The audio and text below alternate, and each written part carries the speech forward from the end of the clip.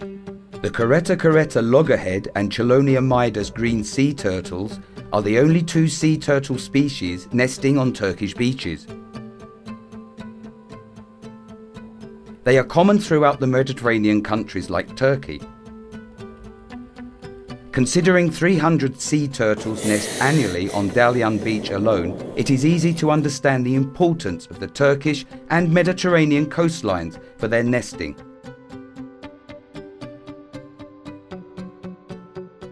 Tens of thousands of tourists enjoy İztuzu Dalyan Beach, one of the most unique Mediterranean beaches with its fine white sand and clear waters. The sea turtles have been nesting here for millions of years.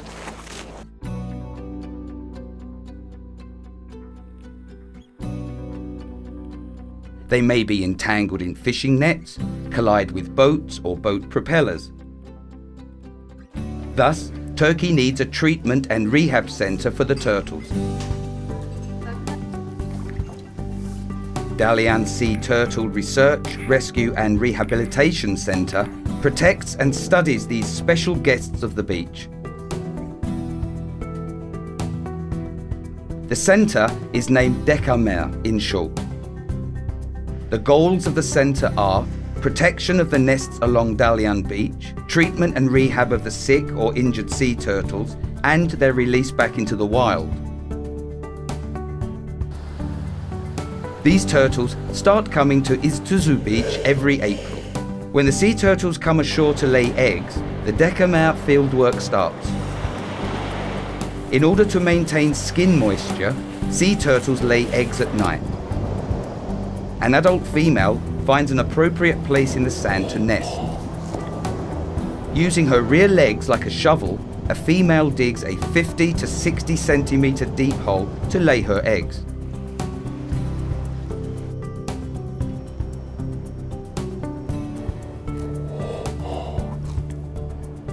The Dekamer team places an electronic temperature recorder in some of the nests to determine the hatchling's gender. Female hatchlings are more likely to develop at around 32 degrees, where males are more likely to do so at around 26 degrees. After laying approximately 70 to 100 eggs, the female begins to close the nest. Sea turtles take great care in camouflaging the nest. This is instinctive behaviour of sea turtles to protect the nest from predators. After an hour or so of hard work, the female returns to the sea. Approximately two months later, the baby turtles hatch and head to the sea like their mothers. What characterises İztuzu Beach is the presence of fresh water on one side and seawater on the other. There are many large and small lakes behind the beach. Dekamer is located right next to Lake İztuzu. Here, sea turtles are treated and rehabilitated in convalescence pools. Visitors receive information about the centre and its patients as the team works to heal the injured sea turtles. Staff and volunteers are busy at Dekamer. Fishermen and sensitive citizens know of the centre, which is relatively new, and contact it to report sick or injured turtles. Fishermen are the ones encountering the sea turtles most often. As sea turtles attempt to eat the fish captured in the fishing nets, they get entangled and choke. So, they are not in such good terms with the fishermen. Often, when fishermen find unconscious sea turtles entangled in their nets, they mistakenly believe that the turtles are dead and release them back to the sea. As a result, they drown and die. Instead, Fishermen should position the unconscious sea turtle head down, tail up on the boats and place a wet towel over their shells to keep them cool and moist under the sun. Once fishermen inform the Dekamer team, they attend to the injured sea turtle. Annually, around 20 injured sea turtle cases are reported to Dekamer. Ali Ihsan Budaja from Fethiye contacted Dekamer to report a sea turtle washed up on the shore. Meryem Tekin and Ismail Tufan of Dekamer travelled to Fethiye to rescue the injured sea turtle. It is a green sea turtle. The team performs an initial examination before care at the centre. They check for wounds or missing body parts. They also check eye reflexes and try to determine its gender. The turtle is exhausted and very weak. It is obvious that she has not eaten anything for a long time. It is put on vitamins and painkillers and immediately transferred to the centre. Ali Ihsan Budarja, who found the turtle on a beach in Fethiye, names her Fethiye.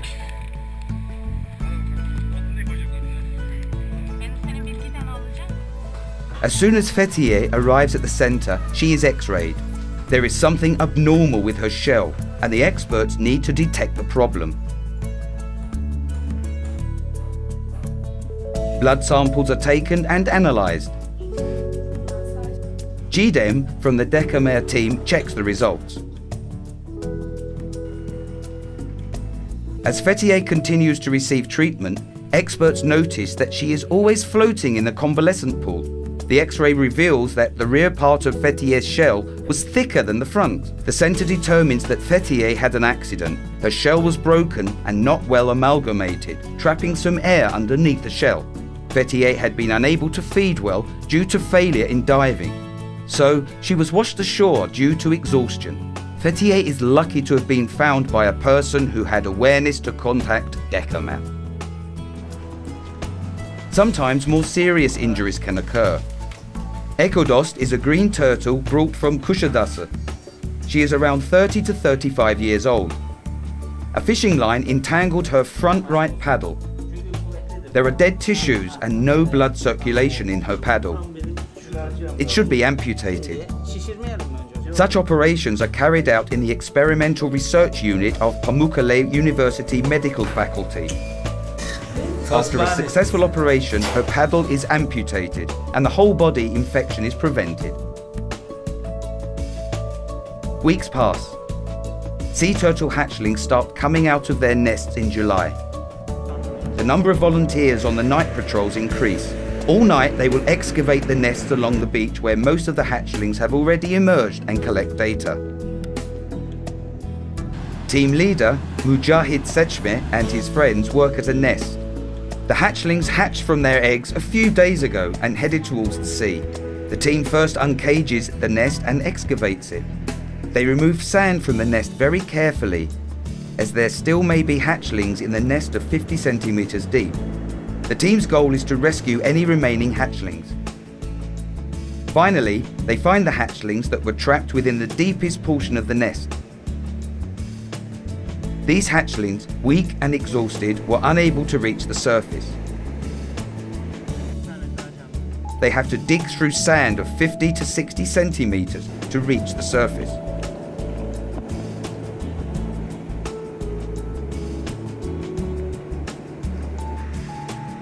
Mujahid removes the hatchlings and places them in a bucket. The team then counts and records the number of empty eggshells.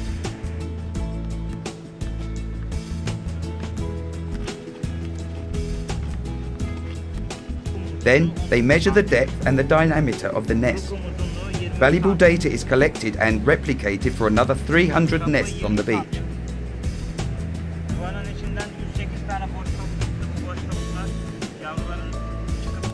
Team witnesses the emergence of baby sea turtles as they walk towards another nest to be opened.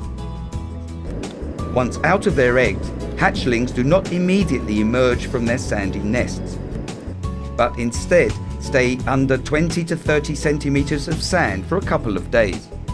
First, their yolk sacs must fall off and the hatchlings must dig their way out from the underneath the sand. A hatchling's ability to breathe under 20 to 30 centimeters of sand proves the success of the adult female carettas in nest making. Hatchlings emerge from the nest either one by one or in groups, which mean that all the hatchlings in one nest might not emerge during the same night.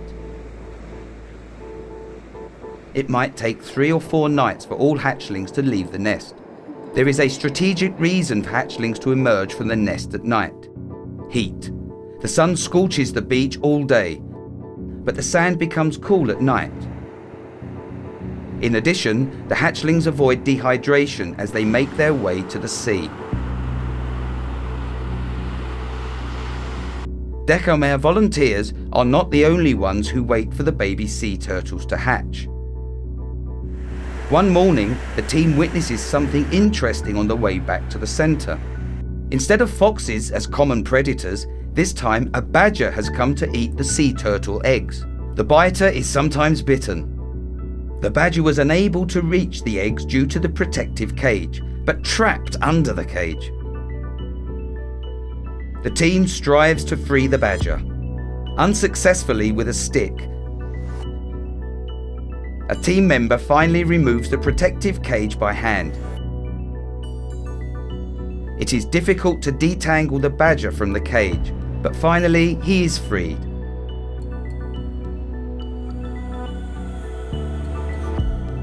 Ferhat is another patient at the centre. He was brought from Bodrum with the right part of his shell broken.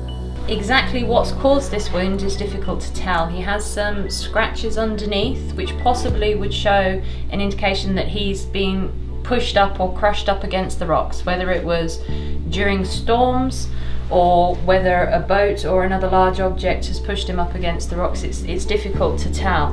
Professor Yakup Kaska, Meryem Tekin and Erdi Jan examine Ferhat's broken shell all the dead tissues and all the other uh, infection part of it you have to clear it. Kaplumbağayı en kısa sürede buraya getiriyoruz. Normal kan tetkikleri yapılıyor, röntgen filmi çekiliyor ve e, uygun görülen antibiyotik tedavisi, vitamin ve serumlarıyla başlayan bir tedavi sürecinde kaplumbağanın genel bir pansumanı yapılıyor, genel bir temizliği yapılıyor ve günlük olarak bundan sonra iyileşene kadar ilaçları ve beslenmesi devamlı bir şekilde kontrol ediliyor. Ancak kaplumbağaların tedavisi böyle biz insanlardaki gibi hemen 3-5 gün veya 5-10 günde tamamlanmıyor. Bu söylediğimiz süreç en az 5-6 ayı e, alan bir süreç. Hatta bazı kaplumbağalar için 2 yılı süren bir tedavi süreci de oluyordu. Ferhat is not eating anything. The team at the center tries to understand the cause. Ferhat was x-rayed and blood tests were completed. The team waits for the results. Meryem and Erdi clean his wound carefully. The wound is quite serious. The infection may reach his internal organs. So, it is essential for it to be cleaned and dressed as soon as possible. They seal the wound with a special resin to repel water. Thus, further infection is prevented. Thousands of Turkish and foreign tourists coming to enjoy the sea and the sand also visit the centre. The centre welcomes 400 to 500 visitors a day in summer. Visitors can see recovering sea turtles in close, in convalescent pools. The centre's staff and volunteers share the stories of the recovering turtles with the visitors. They introduce the aims and efforts of the centre and provide information on sea turtles both in Turkish and English. Children in particular are drawn to seeing these animals up close. Visitors enjoy learning that they do not see a lot of jellyfish in Iztuzu because the sea turtles feed on jellyfish. On the other hand, visitors learn that they should not throw plastic bags into the sea due to their resemblance with jellyfish. These plastic bags can cause sea turtles to suffocate when they mistake them for jellyfish and eat them. My name's Tracy from England and we came here last year and we were very sorry to hear that Denise had died. Um, but uh, Nazim looks much better, her head, and we think you do very good work and we think there should be cages on the propellers and that all boats should have to do it and that tour companies should only use those boats.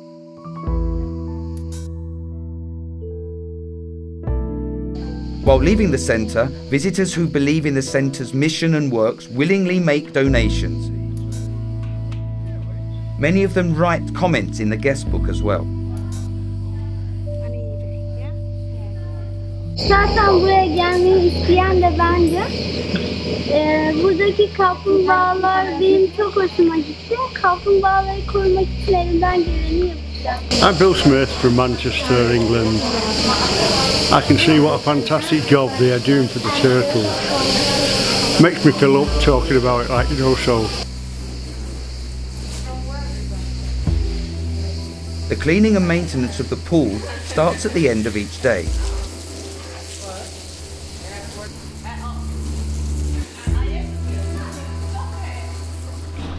Biologist Chidem measures the salinity of the seawater. The salinity of the seawater may decrease due to fresh water mixing with it. This can negatively impact the recovering turtles in the pools. Salt is added to increase the salinity to the normal amount.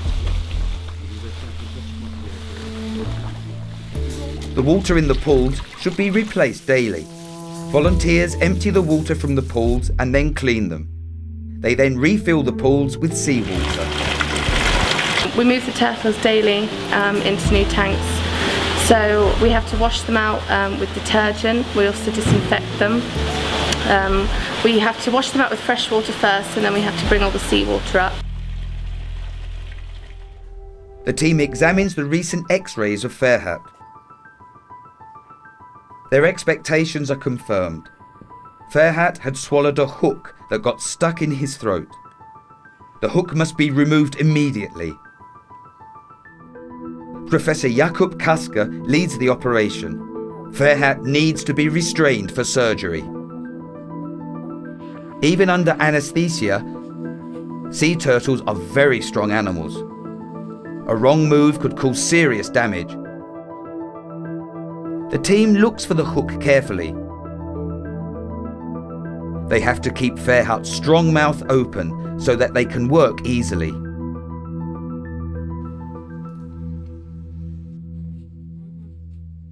After a risky operation, the hook is removed. Olta böyle çok küçük olunca e, mide asiti veya ağız içindeki asitler bunu çürütüyor zaten. Zaman içerisinde kendisi de atıp gidebiliyor ama daha büyük oltalar vardı daha önceki hayvanlardan çıkan muhakkak e, kesilerek alınması gerekiyor. Ekodost healed in three months. But her rehabilitation in the diving tanks took another nine months. Today she goes back where she came from. She can survive with one paddle.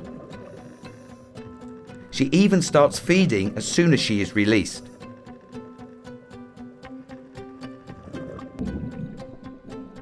By saving Ekodost, hundreds of new baby turtles are saved. The rehabilitation of entreated turtles starts. They have to survive by themselves when they get back to the sea. They should learn how to eat live food and dive to the bottom of the convalescent tanks without help. This long rehabilitation process continues until they are released back into the sea.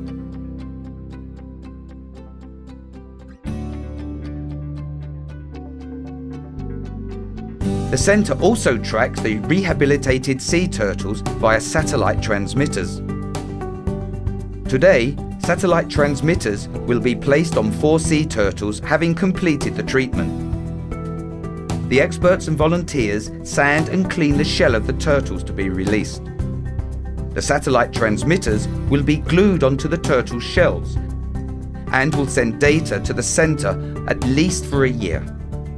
Thus, it must be glued tightly on the shell. They use a special glue to secure the transmitter. This tracking device not only measures the success of the rehabilitation, but also provides data to scientists about sea turtles feeding, nesting, and migration routes. It helps us learn more about the biology of the turtles and helps us better protect them. The turtles rehabilitated and released by Dekamer have travelled to Tunisia, Libya, Egypt, Israel, Syria, and Cyprus but always return to Iztuzu to feed and nest. This is the last day for them at the centre. They will reunite with the Mediterranean Sea soon. a short ceremony is held for the release of the turtles. Everyone is excited to see sea turtles being brought to the beach. Tourists, local residents, staff of the Ministry of the Environment and Urbanisation, the Ministry of Forestry and Water Affairs, the Department of Nature Conservation and National Parks and Children, all are ready for the ceremony. These turtles will send data for a year from wherever they go. This satellite tracking alone shows the importance of İztuzu Beach for the life cycle of sea turtles. They say goodbye to Dalyan for now, to return again next year for nesting, just like the way they have been doing for millions of years.